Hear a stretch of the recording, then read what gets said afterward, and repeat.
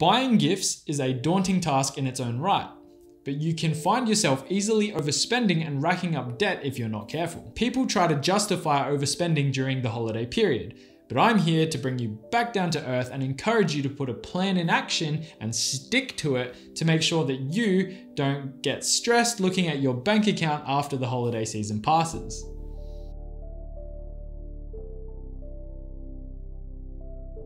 Welcome back to my channel, my name is Reece and in today's video I'm going over a few tips I use for the holiday season to avoid overspending or spending all of my money on gifts. The first way that I plan ahead for purchasing gifts for the holiday season is by putting a percentage of my wage away into a specific bank account for this intended purpose so that when it comes to crunch time, I don't feel overwhelmed and stressed because I've already built up a, let's call it a kitty, which I can use to purchase gifts and not feel guilty about spending that money. Just as an example, if you were to put away $25 a week, you would save about $1,300 a year specifically for that intention of purchasing gifts. You could do this by looking at what your banks and credit unions offer to support you on your endeavor to save this type of money without having the temptation of dipping into those accounts. These accounts are typically free and it's a great incentive offered by credit unions and banks to make sure that you don't actually have access to them until the purchasing time for those holidays actually come into fruition. So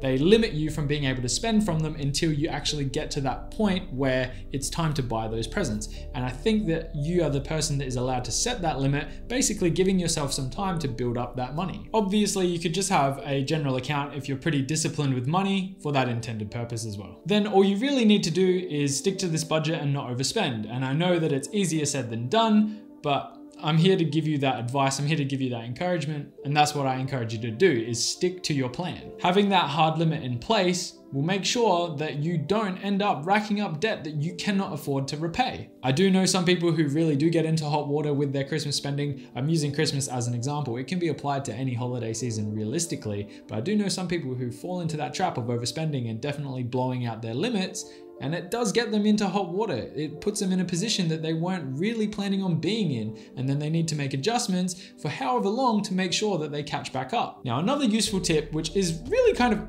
not money related in this instance, is that some companies have in place a service which basically aids you in your shopping. Now, a good example of this is a makeup store here in South Australia. I know for a fact that they do this because I know someone who used to work there where I wanted to go and purchase something for my girlfriend as a gift, but I wasn't really sure on what I was doing. And they had a service in place where you could walk in and they would basically one on one walk with you and ask you relevant questions and then pick out products which would be suitable for your needs or for the specific type of gift you were looking for. And I found that really welcoming, really a really fantastic experience as well because I'm no expert in makeup, I didn't really know what I was doing, and they offered a service which basically resolved my issue and allowed me to buy what I needed, make sure that it was a good quality gift for the person I was buying it for, and it was an enjoyable process. So again, some companies will go up above and beyond to please their customer base and you being the customer get to experience and enjoy that component of shopping. So look out for those types of services offered by companies during the holiday seasons. Now this one is a pretty sneaky one and I'm sure that lots of people use this but I find that it's really useful for someone like me. I have a bit of a goldfish memory. I'm not the best with purchasing gifts. However, when people in my life, like family and friends, say that they really want something that is very specific, I will pull out my phone immediately, open my notes, and write it down. I'll create a note where I'll come back to it later on and categorize it in lists. Now, I've got a few lists in my phone for people that I, like I say, care about and intend to purchase gifts for, where they've mentioned something like, oh, I really like this, or oh, I really want this. Put it in a list, wrote it down, and I've kept it. And now I have basically a resource of whenever I need to purchase them a gift, I know specifically something that they want. So I can save up for it, I can go outright and purchase it, no problems, and I have that peace of mind knowing that the gift I'm getting them will be appreciated and enjoyed by them. I also truly believe that in this instance where let's say six months have passed since they said, oh, I really want this item or this gift, and you have gone out, bought it, wrapped it, given it to them, when they open that, they're going to be like, wow, I can't believe that you remembered that I said I wanted this. And it's a real friendship winner in the books of friendship, in the books of relationships. I truly believe that remembering something to someone. Personally, when someone remembers what I say from a long time ago, from a conversation, even if it's not gift related, just they remember and they listen to something I said, it's the best feeling in the world. So I have no doubt in my mind that it's going to be the same with gifts, and I do this regularly. Now, all you're really doing is taking a note in your phone in that very moment, and you can come back to that at any point. How simple is that? So it's a very nifty trick, it's a very nifty tip, and I highly encourage you to use it. Relating to that previous tip, it's kind of pre planning where you don't necessarily need to write this list specifically for Christmas. It can be for any type of event that would be suitable to be giving them a gift. This can include things like birthdays, Easter, Christmas, like I said, any type of holiday that is a gift giving holiday. Realistically, you're just building a database of information that is relevant to that person, and you're going to be nothing but appreciated by them when you give them a gift that they specifically said that they wanted and weren't expecting to receive. Now, finally, as hard as it may be, this is probably your last resort, but definitely one to consider. And that is not buying any gifts at all, across the board for no one so that it's fair and it's unilateral.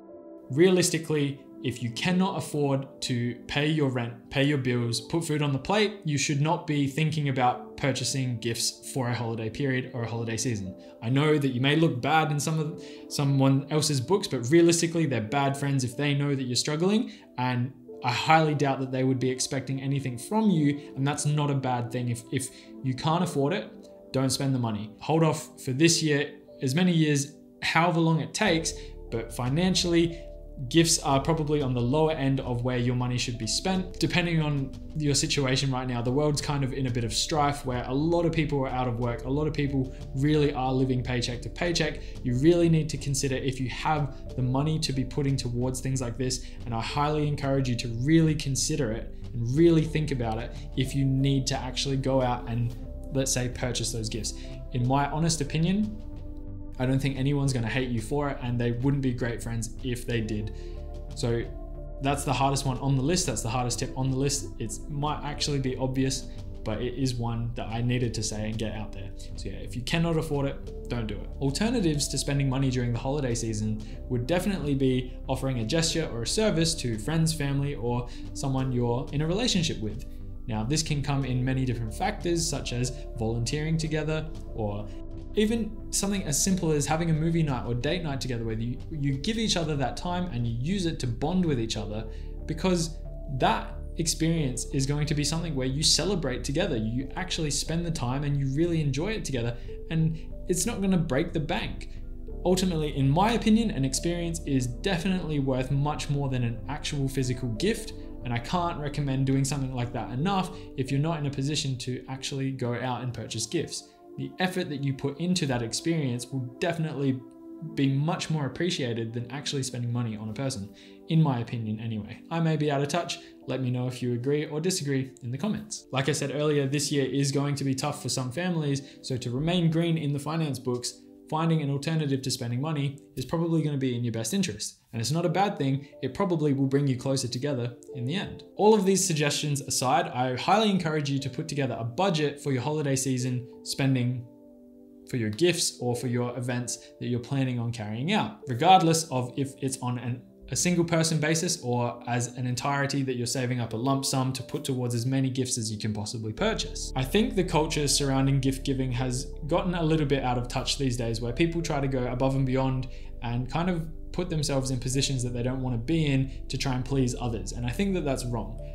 But that's my opinion. At the end of the day, the message coming out of this video is to be conscious of your spending, especially as we're approaching Christmas, which is a big spending period throughout the year. If you think that you have better suggestions or a better system for gift buying for the holiday period, please throw them at me. Leave them down in the comment section below because I'd love to hear some unique ideas.